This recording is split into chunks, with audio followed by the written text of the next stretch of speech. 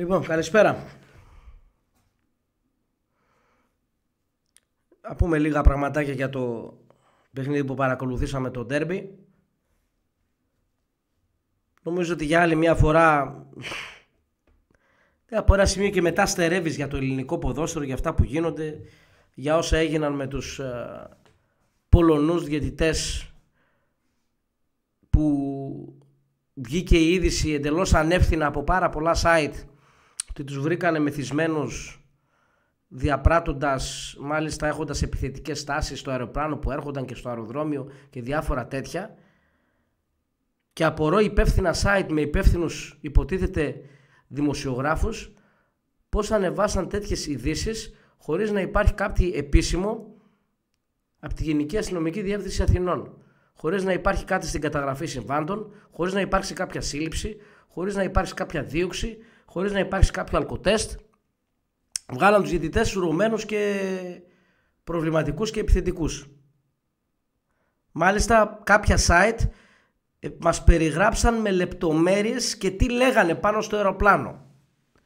Το οποίο αν σε ένα αεροπλάνο κοιτάξεις στραβά μπορεί και να σε συλλάβουν και να μην μπορείς ή σε ένα αεροδρόμιο. Λοιπόν, ξεκινάω από εκεί γιατί συσσωρεύτηκαν πάρα πολλά πράγματα σήμερα. Ε, και έμεινε φυσικά να διαιτητεύσει ο γνωστός κύριος Διαμαντόπουλος. Δεν χρειάζεται νομίζω λόγια πλέον για αυτό το διαιτητή. Δεν χρειάζονται λόγια για τον Παλτάκο. Δεν χρειάζονται λόγια. Έχει στεγνώσει πραγματικά το, το στόμα μας και το σάλιο μας. Να λέμε κάθε φορά αυτά που βλέπουμε κάθε αγωνιστική με ένα διαφορετικό τρόπο. Θέλω να δώσω καταρχήν συγχαρητήρια για την αγωνιστικότητα που έδειξε η ομάδα σήμερα. Μια ομάδα η οποία είναι όπως θέλουμε να τη βλέπουμε. Νομίζω μετά το παιχνίδι με τον Ολυμπιακό στο Χαριλάου στις αρχές του πρωταθλήματος που κέρδισε ο Άρης με ανατροπή είναι το δεύτερο καλύτερο παιχνίδι που έχει κάνει ο Άρης την, στα φετινά ντέρμπι. Είναι ο Άρης που θέλουμε να βλέπουμε και άλλος ένας διαιτητής ο οποίος ε, δεν σε άφησε στο δεύτερο ημίχρονο του παιχνιδιού να διεκδικήσεις κάτι παραπάνω. Ήταν ένα πολύ ωραίο παιχνίδι κατά γενική ομολογία. Αλλά στο πειθαρχικό κομμάτι στο δεύτερο ημίχρονο ο διαιτητής έβλεπε μόνο μία ομάδα και σφύριζε μόνο υπέρ μιας ομάδος. Φυσικά αποκορύφωμα αυτού η φάση με το τράγμα που βλέπετε από πίσω όπου φεύγανε δύο εναντίον ενός παίχτης στο Άρη και μπορούσε άνετα κάλλιστα να γίνει το 1-2 σε εκείνη τη φάση και να μιλάμε για άλλη μια φορά για ένα τελείως διαφορετικό παιχνίδι όπως έγινε και στο παιχνίδι του πρώτου γύρου όταν τη γονατιά του Αθανασιάδη δεν καταλογίστηκε κατά καφανέστα το πέναντι από τον διαιτητή. Νομίζω από τις χειρότερες έπο που έχω δει εγώ όσο βλέπω ποδόσφαιρο.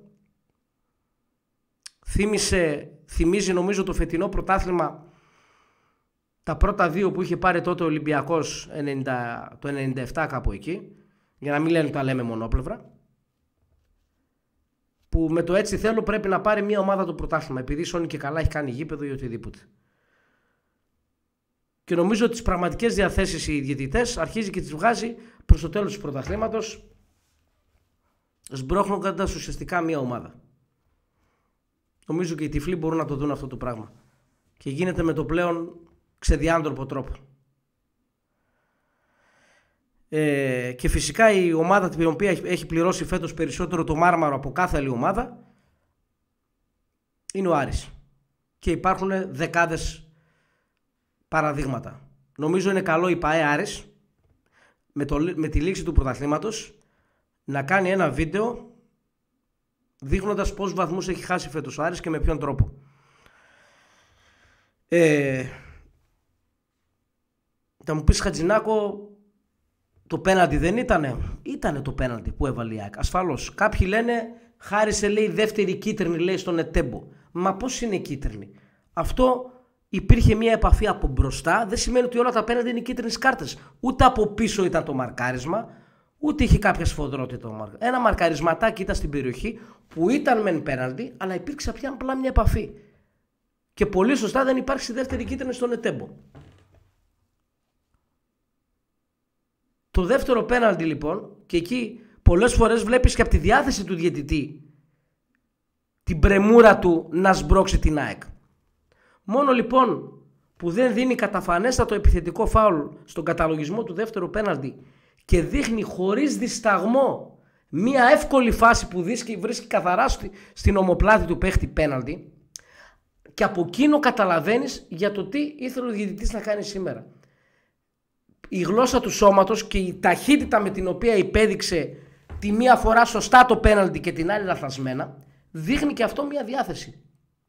Αλλά αυτό το πράγμα που έγινε στην αντεπίδεση εκείνη του Άρη που φεύγαν δύο με ένας και μπορούσε κάλλιστα να βγει φάση άμεσα για γκολ, έτσι και τέτα τέτ πολύ εύκολα, σε ένα τραύμα το οποίο νομίζω το είδε και ο τελευταίος φίλαθλος στην άλλη άκρη, συν άλλα πολλά φάουλου στο πειθαρχικό κομμάτι που δεν στα έδωσε, έδειξαν και άλλη μια φορά και φυσικά όλο το, όλο, όλο το σκηνικό με τους Πολωνούς. Σφύριξε Έλληνας διαιτητής που δεν έπρεπε να σφυρίξει σήμερα. Δεν λέω ότι ήταν καμιά σφαγή μεγατόνων, αλλά ήταν τόσο όσο για να μην μπορέσω να διεκδικήσω το παιχνίδι. Γιατί αν εγώ έφευγα σε αυτή τη θάση και έκανα το 1-2 δεν γύρναγε ποτέ. Και δεν θέλω να μειώσω την αγωνιστική εικόνα και των παιχτών της ΑΕΚ που έπαιξε ένα πολύ καλό παιχνίδι αλλά βλέπουμε ότι οι ομάδες οι οποίες μια ομάδα η οποία σμπρώχνεται ακόμα και στην ατυχία της ή στην καλή μέρα του τερματοφύλακα της άλλης ομάδας θα το πάρει το αποτέλεσμα σε αντίθεση με τις υπόλοιπες ομάδες που απλά συμπληρώνουν το πρωτάθλημα. Αυτή είναι η πραγματικότητα. Η ΑΕΚ σήμερα ήταν πολύ καλή στο δεύτερο ημίχρονο, έχασε ευκαιρίες, αλλά βρει, έπεσε απέναντι σε ένα καταπληκτικό κουέστα αλλά και πάλι δεν δικαιούσε εσύ και με τη βοήθεια της τύχης και με την καλή σου αγωνιστική απόδοση να πάρεις κάτι. Απλά είναι τα πράγματα. Λοιπόν, δεν έχω κάτι άλλο να προσθέσω σε αυτό. Για το παιχνίδι. Άλλη μια ξεφτύλα σε όλο το μεγαλείο. Μετά τις μεζούρες του ατρωμίτου που βρήκε η ΑΕΚ και έπαιξε τον Ατρόμητο αδιάφορο μετά και κέρδισε εύκολα. Έχουμε τους μεθυσμένους διαιτητές. Δεν ξέρω τι άλλο μπορεί να σκαρφιστεί ο αγαπητός κύριος πρόεδρος της ΑΕΚ για να πάρει σώνει και καλά το πρωτάθλημα. Νομίζω ότι έχει δείξει και στο παρελθόν ότι όταν θέλει κάτι πολύ το παίρνει. Πιθανότητα να το πάρει και φέτος. Αλλά αυτό νομίζω δεν τιμάει σε τίποτα να πάρει ΑΕΚ με ένα τέτοιο τρόπο παρατεταμένης εύνοιας το πρωτάθλημα. Ένα πρωτάθλημα που ε, έστω για τους τέσσερις μεγάλους που παίζουν το δικό τους πρωτάθλημα, έστω και αν αδικούνται οι υπόλοιποι, παραμένει ένα συγκλονιστικό πρωτάθλημα. Αλλά στο τέλος πρέπει να το πάρει ένας. Ε, αυτά παιδιά. Να υπενθυμίσουμε στους φίλους στο link που φαίνεται στο, στο βίντεο και, και στην περιγραφή και στο pinned comment. Έτσι. Binance για όλες τις ασφαλείς συναλλαγές σας σε κρυπτονομίσματα. Κορυφαίο ανταλλακτήριο κρυπτονομισμάτων. Έτσι. Θέλεις να επενδύσεις σε bitcoin, σε ethereum, σε SIBA, χίλια δυο. Όλα μέσα στην Binance με απόλυτη ασφάλεια και Binance Earn για όσους θέλετε παθητικό εισόδημα μέσω της υπηρεσίας Binance Earn. Κάνετε την εγγραφή σας 100 δολάρια cashback όταν συμπληρώσετε τα tasks που θα εμφανιστούν που θα ολοκληρωθούν στο, στο Tax Center και βεβαίως όσο ολοκληρώσετε την πρώτη σας συναλλαγής στην Binance 500 ευρώ σε κλήρωση όπου θα ανακοινώσουμε από εδώ το user ID του νικητή. Τα λέμε τώρα εμείς για λαϊκό δικαστήριο που θα έχουμε να πούμε και εκεί αρκετά πραγματάκια ε, αύριο στις 9. Καλό βράδυ.